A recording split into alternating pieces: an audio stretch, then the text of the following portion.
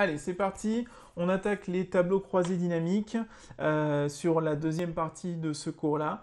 Et donc, je vais vous demander d'ouvrir le fichier que je vous ai envoyé, exercice 3 TCD. Euh, on va d'abord voir ensemble à quoi correspondent les tableaux croisés dynamiques. Je vais euh, du coup vous faire une démonstration, vous donner des explications, et puis ensuite je vais vous donner un exercice à faire que vous allez pouvoir réaliser. Vous allez avoir du temps pour le faire, et euh, une fois que vous l'aurez réalisé, après, ben, en fait, je vais vous euh, tout simplement euh, vous le corriger et puis vous donner accès à la correction. Alors, donc une fois que vous avez ouvert l'exercice numéro 3, à savoir tableau croisé dynamique, vous, avez une, vous avez un premier feuillet. Ce premier feuillet, c'est salarié contrat démo c'est celui qu'on va ouvrir et c'est celui sur lequel on va travailler. On va commencer par travailler ici avec les tableaux croisés dynamiques. Et euh, une fois qu'on aura fait, on va basculer sur l'exercice que vous devrez réaliser.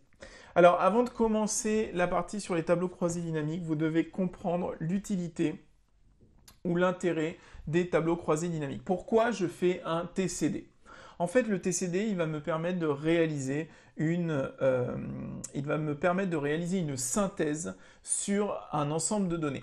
Donc euh, les éléments qu'on a vus euh, jusqu'à maintenant, donc par exemple la formule si, la mise en forme conditionnelle, la liste déroulante, tout ça me permettait de réaliser des procédures sur une base de données et du coup d'améliorer la lisibilité, de regarder certains éléments, de pouvoir la compléter, d'afficher certains éléments de ma base de données. Bref, l'objectif c'était de travailler directement sur ma base de données. Là, l'objectif des tableaux croisés dynamiques, ça va être de réaliser une synthèse qui va me permettre d'avoir une meilleure lecture de finalement euh, ben, euh, le ratio de mes ventes, mes performances euh, en, termes de commercial, les performances de tous les commerciaux d'une entreprise.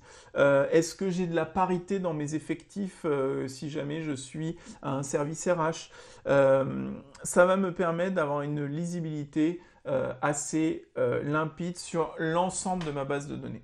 L'objectif est vraiment de réaliser une synthèse analytique. Donc ça c'est vraiment le truc, c'est de comprendre, d'avoir des données que je puisse exploiter, de dire ah tiens, je comprends ce qui se passe dans mon entreprise parce que j'ai réussi à identifier, à faire émerger telle ou telle donnée.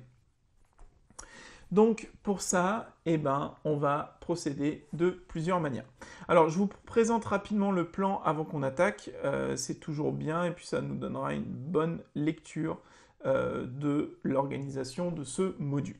Euh, le principe général est les tableaux croisés dynamiques, le champ d'application, donc ça on vient de le dire, en fait ça me permet de créer une synthèse qui va me permettre d'optimiser ou en tout cas de faire ressortir des données. Alors pourquoi est-ce important d'établir une synthèse? Eh bien, par exemple, euh, sur l'aspect, lorsque l'entreprise euh, va devoir euh, prendre des décisions stratégiques, ou votre manager devra prendre des décisions stratégiques, il va avoir besoin d'un certain nombre de données pour pouvoir se positionner, pour pouvoir statuer. Et ces données, en fait, elles vont reposer sur une synthèse euh, d'une des synthèse des données commerciales qui sont exploitées et cette synthèse vous allez pouvoir la réaliser par l'intermédiaire des tableaux croisés dynamiques. Euh, ensuite, on va donc on va voir, et ça c'est la première des choses qu'on va voir ensemble, c'est comment je convertis une base de données en tableau croisé dynamique. Euh, donc ça, c'est très simple, vous allez voir, ça se fait très, très simplement. Ensuite, on va voir la mise en forme du tableau croisé dynamique, son apparence visuelle, les dénominations des lignes et des colonnes, les formats de cellules, et on va voir aussi quelques petites choses qu'il est impossible de faire dans un TCD. On va parler ensuite euh, de toute la partie bon, synthétique, ça évidemment, et ensuite on va parler, euh, on va aller un peu plus loin et on va faire euh, émerger, on va voir tout ce qui est paramètres de champ de valeur, et ensuite création d'un champ calculer. C'est parti, on y va, on attaque, j'espère que vous êtes chaud. Alors, euh, donc là, j'ai une base de données de contrat de salarié. Donc j'ai un numéro de salarié, un identifiant, j'ai un nom, euh, j'ai une date d'embauche, j'ai un âge, euh, qui m'apparaît d'ailleurs bien sous la forme d'âge, donc là j'ai bien des numéros, ça va être plus simple. et j'ai un code service, un temps hebdomadaire de travail, un nombre de journées de congé annuelles et un nombre de jours d'ARTT. Alors, donc ça c'est ma base de données. cette base de données, je voudrais réaliser une synthèse euh, de euh, cette base de données pour voir un petit peu bah, comment euh, cette année, quel nombre de jours ont été pris au total, combien d'heures de travail ont été réalisées ou quelle est la durée moyenne de travail hebdomadaire, parce que vous voyez qu'elle est spécifique à chaque salarié, etc., etc. Tout ça, je vais le faire dans un tableau croisé dynamique. Donc, je vais commencer par sélectionner ma base de données. Alors, je vous rappelle, alors tout à l'heure, je vous expliquais, ça n'avait pas marché, mais là, cette fois-ci, ça va marcher. Euh, si vous voulez sélectionner tout votre tableau, vous cliquez sur une cellule de votre tableau et vous allez faire CTRL A ou commande A et ça va sélectionner tout votre tableau. Une fois que vous avez euh, sélectionné l'intégralité de votre tableau, du coup, vous allez basculer, euh, vous allez basculer sur l'onglet Insertion. Et dans l'onglet Insertion, vous allez avoir un onglet qui s'appelle Tableau croisé dynamique. Alors, on ne va pas utiliser les tableaux croisés dynamiques suggérés. Euh, ceci, en fait, est un assistant de tableau croisé dynamique qui va vous structurer automatiquement un tableau croisé dynamique. Le problème, c'est que ben, en fait, vous ne savez pas comment ça fonctionne, vous ne savez pas ce qu'il a fait, il a, décidé de ce qui était le, mieux en fonction de son humeur. Donc, euh, du coup, on ne va pas travailler avec l'assistant de tableau croisé dynamique, on va vraiment tout faire à la main pour euh, que vous compreniez vraiment le fond du fonctionnement de cette fonctionnalité. Je vais donc dans Insertion, tableau croisé dynamique. Dans tableau croisé dynamique, j'ai sélectionné un tableau ou une plage. Vous voyez qu'il m'a automatiquement sélectionné mon tableau croisé dynamique. En fait, il a mis des petits points tout autour. Donc tout ça fonctionne à merveilleusement bien. Et il me dit, bah, est-ce que tu veux créer ton tableau croisé dynamique dans une nouvelle feuille de calcul ou dans une feuille de calcul existante? Et eh bien moi, ce que je vais faire, c'est que je vais créer dans une nouvelle feuille de calcul. Donc j'ai rien à toucher ici. Je fais OK. Et là, c'est parti. Magnifique. Il me crée rien du tout. Alors, il m'a créé rien du tout pour la simple et bonne raison que bah, je n'ai rentré aucune donnée. Comme son nom l'indique, un tableau croisé dynamique permet de saisir ou de sortir dynamiquement des données en fonction des paramètres que vous allez lui euh, faire ingérer. Donc ça veut dire que si vous mettez aucun paramètre, il sort aucune donnée. Alors, du coup, euh, maintenant, eh ben, je vois que j'ai étiquette, donc j'ai filtre, j'ai colonne, j'ai valeur, j'ai ligne, j'ai tout un tas de trucs. Un tableau, en fait, ici, donc euh, j'ai euh, tout un tas, donc je retrouve en fait les intitulés de mes colonnes, qui sont ici tout à droite, on les a tous, ici c'est les intitulés de mes colonnes. Ensuite j'ai trois cases vides, filtre, colonne, ligne et valeur. Et j'ai également un item qui vient de se créer qui s'appelle analyse de tableau croisé dynamique et qui est associé à un onglet création. La première des choses que vous devez voir euh, ici sur le tableau croisé dynamique, c'est que ma cellule ici, euh, j'ai une cellule qui est sélectionnée, c'est la cellule A3, et cette cellule, elle est bien dans le tableau croisé dynamique. Regardez bien ce qui se passe ici en haut à droite. Analyse de tableau croisé dynamique et création. Si je clique à l'extérieur de mon tableau croisé dynamique, tous ces éléments vont disparaître. En fait, c'est euh, une des particularités d'Excel. Euh, si jamais je veux avoir accès aux fonctionnalités d'un élément sur lequel je suis, il faut que je clique à l'intérieur. Donc si je veux les fonctionnalités du tableau croisé dynamique, je dois cliquer dans le tableau croisé dynamique. Sinon, ça n'affiche pas les fonctionnalités et les éléments. Et du coup, ça va causer un petit problème. Bien, alors du coup, ici, euh, j'ai plusieurs possibilités. La première, c'est que je peux paramétrer mon tableau croisé dynamique. Donc ici, j'ai une petite molette. Je clique dessus et il l'appelle tableau croisé dynamique numéro 2. Donc je peux l'appeler euh, je peux l'appeler TCD JP. Voilà, je ne sais pas encore ce que je vais mettre comme données dedans, donc je l'appelle comme ça. Donc là, donc mon tableau croisé dynamique s'est renommé, il s'appelle TCD JP. Euh, voilà, j'ai un certain nombre, alors j'ai un certain nombre d'options et de fonctionnalités liées au tableau croisé dynamique. Je peux créer des segments, une chronologie, tout ça, on ne va pas le voir dans le détail. On va se concentrer uniquement sur les fonctionnalités qui nous intéressent. Alors ça c'est pour la partie paramétrage du tableau croisé dynamique.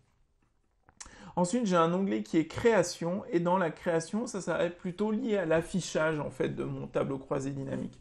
Donc là, je vais plutôt avoir euh, les couleurs de mon tableau là tout en haut, euh, le style du tableau, euh, comment j'ai envie, qu'est-ce que j'ai envie d'afficher ou pas. Alors, c'est bien beau tout ça, mais avant de commencer comme ça, il faudrait peut-être commencer par afficher des données. Je vous, ai dit tout à l'heure, euh, la particularité du tableau croisé dynamique, c'est de faire des analyses. Donc la première chose, quand je crée un tableau croisé dynamique, la première chose qu'Excel va vouloir faire, c'est de faire des calculs. Donc on va se concentrer sur cet euh, élément qui est l'élément valeur. L'élément valeur, en fait, me permet de faire un calcul. Et donc, si jamais je prends, euh, par exemple, alors vous voyez que vous pouvez cocher euh, les, items. Voilà, donc euh, par exemple, je vais euh, voilà, aller ici, là j'ai une colonne âge. Si je clique sur âge, il va m'afficher âge ici en bas à droite. Et là, il va m'afficher un tableau avec somme de âge 1402. Comme je vous ai dit, la première chose que Excel cherche à faire, ce sont des calculs. Il veut calculer, c'est son truc. Donc du coup, ça veut dire que si euh, vous mettez, euh, vous cliquez sur la colonne âge, il va prendre tous les âges de ma colonne, et comme ce sont des chiffres, bah, le premier truc qu'il va faire, c'est qu'il va faire une somme, tout simplement. Et donc il trouve que la somme cumulée de tous les âges arrive à 1402 ans, ce qui me sert strictement à rien. Mais vous avez bien compris que euh, c'est comme ça qu'il souhaite procéder. Alors maintenant, si jamais je mets dans somme, euh, si jamais je mets dans somme euh, un élément qui n'est pas un chiffre. Donc si par exemple euh, je décide ici de ne pas mettre des âges, mais de mettre plutôt des noms. Et bien là, regardez bien ce qui se passe sur Excel. si jamais je clique sur mon tableau croisé dynamique sur nom, là, il va, alors oui, forcément, si je le mets dans valeur, ici à droite, vous pouvez le déplacer, hein. vous pouvez prendre les éléments et les déplacer comme vous voulez. Hein. C'est vraiment euh, très très malléable, très modulable. Donc si vous prenez nom et que vous le mettez dans valeur, ici, là il va mettre nombre de noms, il va compter en fait. Comme je vous ai dit, l'objectif c'est de faire des calculs, donc tout ce qui est dans valeur, il le calcule. Et donc si jamais vous mettez les noms dans valeur, ben, il va les compter, 1, 2, 3, 4, 5, 6, 7, et il va vous mettre le nombre de noms. Si maintenant je mets alors l'heure de travail, euh, le nombre de jours de congé ou les heures de travail prévues par semaine. Donc si là par exemple dans cette, euh, si là par exemple euh, je prends les heures de travail hebdomadaires, eh ben le cumul des heures de travail hebdomadaires sur tous mes salariés, si je mets une somme, ça représente 1446 heures de travail hebdomadaire. Si je prends tous mes salariés et que je somme le nombre d'heures qu'ils ont fait, ça représente en tout 1446 heures de travail. Alors, du coup, donc ça c'est bien intéressant, mais alors à quoi me servent euh, lignes et colonnes? On va voir ici que dans mon tableau croisé dynamique, en fait, mon tableau croisé dynamique, il euh, repose sur euh, des éléments. Donc par exemple, euh, ici, je vais avoir un certain nombre d'éléments. Donc, par exemple, des codes services. Les codes services, vous avez vu que j'ai plusieurs types de services. J'ai service ADM, CPTA, ADM, CPTA, prod, euh, qui correspond probablement à administratif, comptabilité, production, etc., etc. Alors, si jamais je prends, par exemple, code service, et que code service, je le mets dans étiquette de ligne. Et eh bien en fait, il va prendre chaque élément, vous avez vu qu'il y a plein de doublons dans ma colonne, il va prendre chaque élément unique et il va les afficher. Donc là, je prends code service, tac, et là, il va m'afficher les trois éléments que j'ai en code service, donc administratif, comptabilité et production. Alors maintenant, ce que je pourrais faire, donc c'est bien beau, mais si par exemple, donc là, bon, ben voilà, si je mets ça et que je mets dans valeur, ben, il va me comptabiliser euh, les codes service. Par contre, ce que je peux faire et qui est intéressant, c'est que je peux, si je vais là, je vois que j'ai tous mes collaborateurs et que mes collaborateurs, en fait, ils sont affectés à des services. D'accord? Donc j'ai par exemple euh, Monsieur Hadar, ou Madame Hadar d'ailleurs, j'en sais rien, qui est affecté administratif. Bédari, lui, il est affecté à comptabilité. Coutard, comptabilité, etc. etc. Et eh bien, je peux calculer le nombre de collaborateurs que j'ai par service. Et pour ça, en fait, je vais prendre le code service, je vais le mettre dans ligne, donc administratif compta prod, je vais reprendre le code service, puisque va me, et je vais le mettre dans valeur, et il va me compter, en fait, combien il y a de fois administratif, comptabilité, production.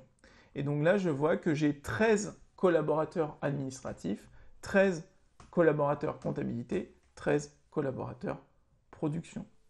J'aurais pu faire pareil avec les noms, mais ça va me donner la même valeur, d'accord? Je peux, prendre les noms et les mettre dans valeur. Tac, voilà, hop. Si je prends les noms, que je les mets dans valeur et code service, ben, il me dit code service ici dans ligne, j'ai trois codes service, et non, ben, j'ai 13 valeurs, donc j'ai 13 collaborateurs dans administratif, 13 collaborateurs dans, dans, comptabilité, 13 collaborateurs dans production, ce qui me fait un total de 39 collaborateurs. Alors maintenant, euh, c'est sympa, mais si jamais je suis un RH, je pourrais aussi calculer la répartition des âges en fonction des euh, services. Donc là, par exemple, ici, je vais euh, calculer, je vais mettre les âges et je vois que bah, l'âge cumulé, c'est 479, 452 et 471. mais ça me sert à rien ce truc. Alors, comment je vais faire si je veux, par exemple, savoir mes âges, euh, savoir euh, la répartition des âges, je vais pouvoir le faire, par exemple, en calculant l'âge moyen.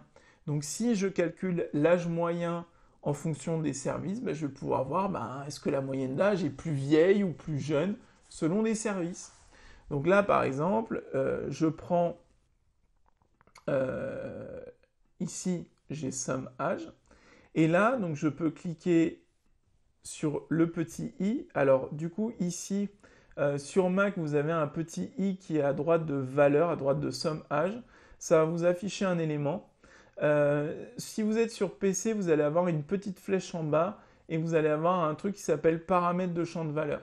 Et donc c'est vous cliquez dessus paramètres de champ de valeur. Si jamais vous avez un problème, n'hésitez pas à aller checker sur Google parce que tout est indiqué, donc euh, ça sera encore plus simple que, de chercher euh, par vous-même si vous n'arrivez pas à trouver.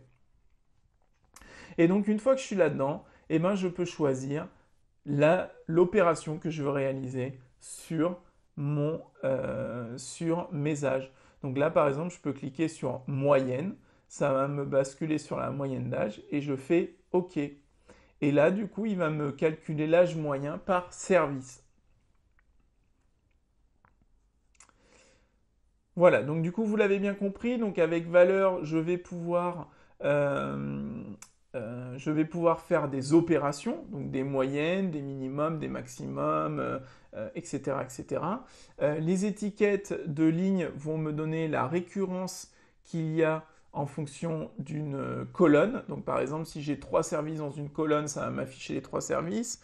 Si j'ai, euh, par exemple, euh, je ne sais pas moi, si j'ai, pardon, excusez-moi, si j'ai trois statuts, par exemple, de demandeurs d'emploi actifs et indépendants, ça va m'afficher les trois statuts en fonction de ma base de données. Alors par contre, euh, attention, parce que si jamais j'ai des valeurs uniques, comme euh, par exemple des clés, euh, ou des noms de salariés, si j'ai des valeurs uniques, ben, il va m'afficher tous les noms de salariés, donc ça ne va pas trop m'intéresser. Je vous rappelle que l'objectif d'un tableau croisé dynamique, c'est de faire une synthèse. Bien, alors maintenant que j'ai affiché tout ça, c'est plutôt pas mal. Je pourrais peut-être ici cliquer euh, sur mon tableau croisé dynamique pour regarder un petit peu comment ça fonctionne. Alors, la première des choses que je vais vous montrer dans le tableau croisé dynamique sur l'aspect général, c'est que ce tableau croisé dynamique, je ne peux pas rajouter des colonnes ou des lignes à l'intérieur. Tout simplement parce qu'en fait, le tableau croisé dynamique, il est fait, et ça, vous pouvez le noter, c'est très important dans votre cours, le tableau croisé dynamique, il est fait pour que je fasse toutes mes opérations par la boîte de dialogue qui se trouve à droite. Je dois passer par la boîte de dialogue tableau croisé dynamique pour réaliser mes euh, opérations. Si je passe pas par la boîte de dialogue, soit ça va pas fonctionner, soit ça va bugger, soit ça va pas être hyper euh, élégant entre guillemets, c'est-à-dire ça va pas être euh, hyper professionnel. Donc là par exemple, si je veux ajouter une colonne à mon tableau, je clique droit ici sur le, chiffre et je fais insertion, ah, il va me dire bah non, on peut pas modifier les cellules parce que ça affecterait ton tableau croisé dynamique. Tu comprends bien que l'objectif, si tu veux modifier ton tableau, c'est de le modifier directement dans les fonctionnalités prévues. Alors ça veut dire que si je veux changer la couleur de mon tableau, ou son aspect visuel, donc je clique sur une des cellules de mon tableau, je vais aller dans Création, et là en fait, je vais pouvoir sélectionner un des éléments euh, qui me permettent d'afficher ou de mettre en forme automatiquement mon tableau. Donc là par exemple, je peux euh, le mettre en orange, euh, je peux le mettre, tac, mettre comme ça. Voilà, vous avez des mises en forme automatiques qui vous permettent d'afficher automatiquement un tableau croisé dynamique. Mais en tout cas, vous êtes obligé de passer par ce type de mise en forme pour pouvoir affecter la mise en forme d'éléments. Alors évidemment, je vous demanderai jamais dans un tableau croisé dynamique de, euh, faire, une liste de faire une liste déroulante ou une mise en forme conditionnelle ou une fonction si à l'intérieur, ça servirait strictement à rien puisque l'objectif du tableau croisé dynamique, ça n'est pas euh, de euh, réaliser des formules, c'est vraiment de faire des synthèses. Donc c'est peut-être l'un des éléments les plus simples d'Excel parce qu'en fait à partir du moment où vous avez compris comment ça fonctionne, c'est vraiment hyper basique.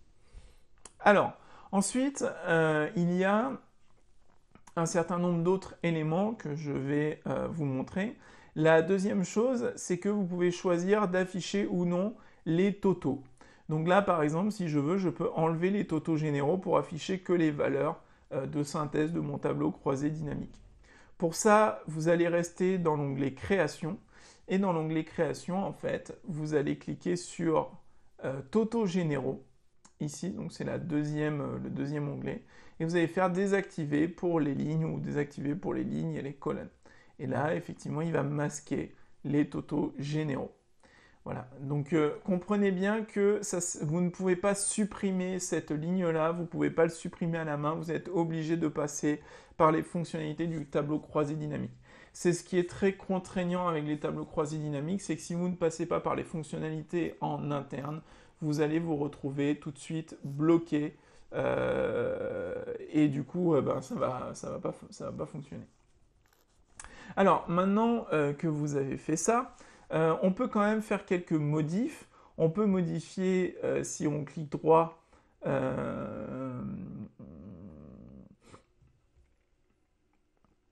pardon, excusez-moi, on peut modifier le format de cellule.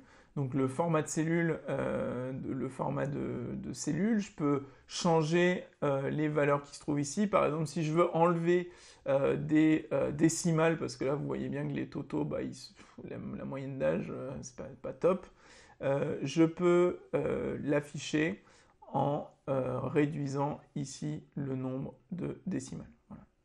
Donc ça c'est classique, hein, c'est euh, les mêmes fonctionnalités que ce qu'on avait vu avant. Et donc on voit la moyenne d'âge par service, qui est d'ailleurs sensiblement similaire. On a une, moyenne d'âge assez équilibrée dans cette entreprise. Euh, bien, alors du coup, euh, l'objectif du tableau croisé dynamique, ça va pas être que je vous montre point par point toutes les fonctionnalités. L'objectif, ça va être que vous puissiez faire un exercice à partir de ce que vous avez compris des fonctionnalités. Euh, du coup, euh, je vais vous encourager éventuellement à aller regarder sur Internet, à tester, à chercher un peu par vous-même, à creuser. C'est aussi ça le, but de ce cours. Euh, si je vous fais tout sous forme de tuto, bah, vous n'allez pas chercher par vous-même et du coup, ce serait un peu dommage. parce que du coup, c'est par l'expérimentation et la manipulation que vous allez réussir à améliorer votre niveau sur Excel. Donc, ce que je vous propose et ce qu'on va faire maintenant, c'est que euh, vous avez un feuillet qui s'appelle BDD TCD X1 donc dans les, dans les onglets que je vous ai donné de l'exercice, enfin dans, les, ouais, onglets du tableau, donc là, si j'enlève ma caméra, vous avez BDD TCD X1, et vous avez une série de questions à côté, ici, sur, qui doivent être faites par l'intermédiaire du tableau croisé dynamique. Alors l'objectif euh, ici, ce n'est pas que je vous donne euh, toutes les réponses immédiatement, parce que sinon vous n'allez pas chercher et ça n'aura aucun intérêt. Ça va être que vous essayez au maximum, en fonction de ce que vous avez compris, de ce que je vous ai expliqué des tableaux croisés dynamiques, de euh, manipuler par vous-même et, et de répondre à chacune des questions. Alors, le truc euh, qui est important, donc je vais faire un tuto après pour euh, répondre à toutes les questions. Tout ça, vous l'aurez corrigé, bien évidemment, et euh, vous aurez tout le détail du fonctionnement des tableaux croisés dynamiques. néanmoins, pour que ce soit plus sympa et plus convivial, je vous laisse d'abord manipuler parce que la, fonctionnalité des tableaux croisés dynamiques, c'est quelque chose d'assez simple. et ensuite, on verra ensemble et je vous détaillerai point par point comment euh, manipuler et comment réaliser les procédures. Euh, voilà, si vous avez des questions, bien sûr, je suis sur le Discord, donc je peux vous répondre en direct live. Et euh, le cas échéant, eh ben, je vous laisse démarrer les exercices et puis on se retrouve dans un petit moment pour pouvoir faire la correction ensemble des tableaux croisés dynamiques. À tout à l'heure